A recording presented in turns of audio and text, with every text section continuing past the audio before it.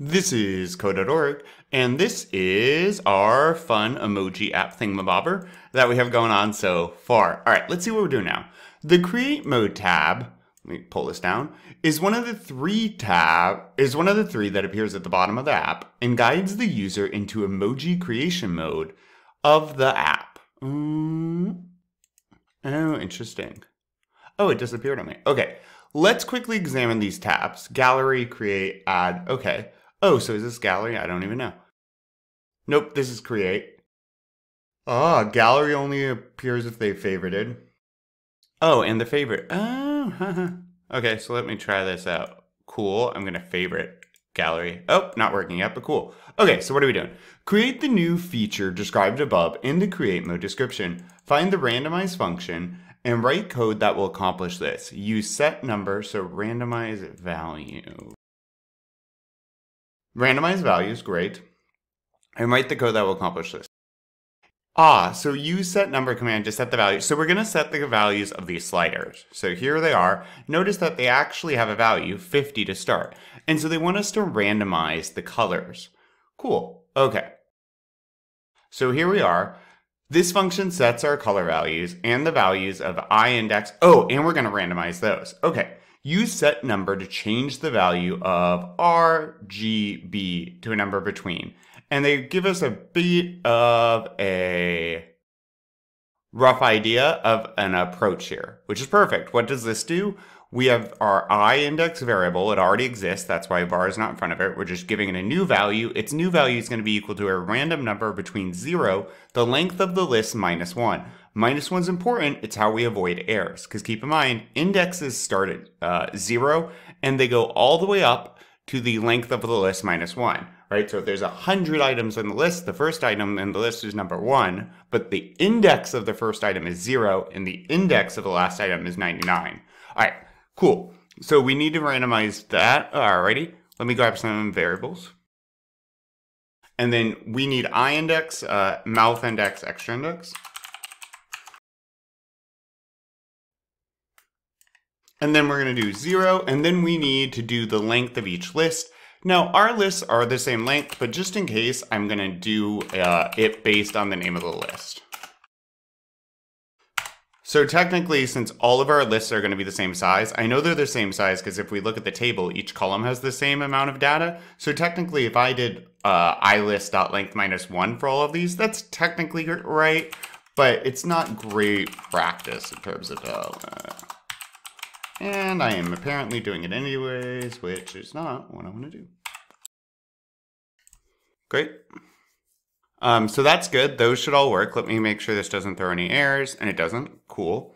Um, and now use set number to change the value of the R color, uh, color slider G, color slider B. Oh, okay. And they already gave us an example here. So I'm going to be a bit cheap, you could say. Now, the colors for RGB scale are 0 to 255. So we should use the, the example here. And I'm just going to honestly do a control C, control V, or a copy and paste Command C, Command V on a Mac because it's essentially the same. So I'm to set the color to, yep, of G and RGB. Great. Let me go ahead and test this. Let me hit.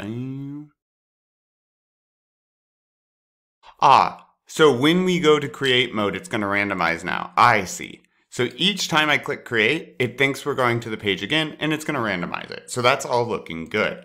Okay, now we've gotten that one knocked out. Oh, oh, okay, that's what we have to cover. So let's talk about what actually is happening then here code-wise. So upon going to create, first things we did The first thing we did is we wanted, just wanted to make sure, the first thing we did is we wanted to randomize the eye index, mouth index, and extra index. What does that do? Why do we care? Well, pay attention as to when this runs. And this is where it gets confusing, so don't get too confused. You can get a little confused because it's confusing. But let's take a look at right here. So display create mode. When does display create mode run? I'm going to go to text mode just so I can jump around this easier. So display create mode runs on the event that the create button is clicked. And it also appears to run automatically when the run button is clicked. So when that is clicked, what happens? Well, when that is clicked, randomize values is executed. That's the method we just wrote. I'm hopping around right here. Oh, setup is run when the ah, that makes sense. Setup is run when we click start. It's executed here. There we go. What does setup do? Setup randomizes the values, it sets colors, updates the emoji. These are all methods. Now let's look at our randomized method, values method. This is the one we just wrote. What does it do? It changes eye index, mouth index, and extra index. Now, what are those numbers? Well, if we go back down to where this was getting run here, or if we click on the button later on, on the event that we, on the event, or if we click the create button later on, remember this button, on the event that we click the create button, it makes these changes, and then it's gonna run display create mode method. That's gonna run randomize values again, set color, and update the emoji.